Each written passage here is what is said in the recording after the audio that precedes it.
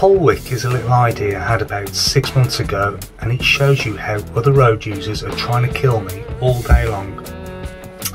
You're going to see dashcam recordings displaying some of the poor behaviours you're going to have to deal with when you're out on the road. And if you want to protect yourself in these situations then stick around, I'll show you how. If you enjoy this video, please consider hitting the like and subscribe button for more. Okay, this one comes up all the time. Lane 1 at the roundabout is for turning left only. We want lane 2 to follow the road ahead. But you've got to keep your eye on lane 1 in that door mirror of yours because often drivers will follow the road ahead even though they're supposed to turn left and that's exactly what's going to happen here in a moment. As we start to bring the car forward slowly, just keep an eye on that left hand lane there the driver should be turning left, but he doesn't. He follows the road ahead. It's very, very dangerous. We can either ease off on the gas, let him go past, or we can change our position if we know what's around us and if it's safe to do so. At this roundabout, we need to follow the road ahead using the right hand lane. Left lane is for turning left only. Notice though that the Audi should be going left and he just doesn't. It's all too common, I'm afraid keep your eye on those door mirrors. In this clip, don't trust that the taxi driver is going to do the right thing. We have to stay in lane 2 a little bit longer, ease off the gas to let him go, then we can come back to lane 1. We shouldn't have had to do all that. It's an horrible day and we can see the lorry is indicating to turn left. However, he's got no business being in this lane at all. He should have followed the roundabout round. Okay, with this one we are leaving at an exit from a roundabout. Uh, we can see the lanes are merging together. So we've got the first car that's just gone in front of us. But keep looking in the door mirror for the next one. Oh, there he is. Cut it a little bit too sharp, I think, and then he had to brake. My pupil and I are approaching a junction where you have to position the car more to the right for a right turn. The road markings there are clearly visible.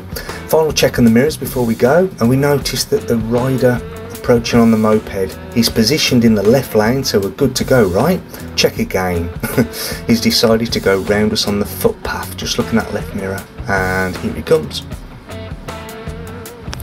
oh dear in this clip we are positioned to turn right the road markings are clear. We're going to be turning right at the roundabout. You can see there's uh, roadworks going on to the left there. So we've got a vehicle behind us that should be going left and they do decide to change their mind and follow our exit from the left hand lane. Just keep your eye on the, the, the cream one there.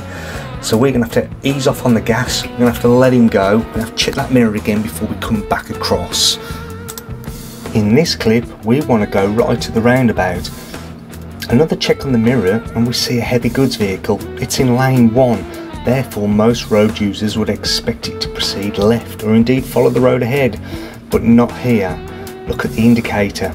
Due to the length of the vehicle, the driver may have decided to use the left lane to complete a right turn. It may even be a foreign vehicle and the driver is not clear on how to position the vehicle correctly and safely. Either way, I always teach my pupils to avoid getting into a situation where you are side by side with something on a roundabout. You're just asking for trouble. Okay, this is a dangerous one there. We want to go right to the roundabout. It's a spiral roundabout. So at this point here, we want to start spiraling to the left. Check the mirror now. We can see there's a Mercedes there in the lane to the left of us already. He's already in that left lane. He's got no business being there. He should have spiraled along with us. But he was already in lane one very, very early.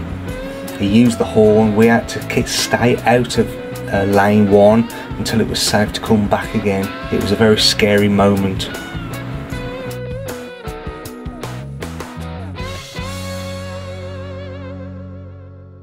My heart just stops when I watch this clip. I don't think there's any explanation necessary. If you enjoyed this movie, then hit the subscribe button and you can see Paul Wick Chapter 2.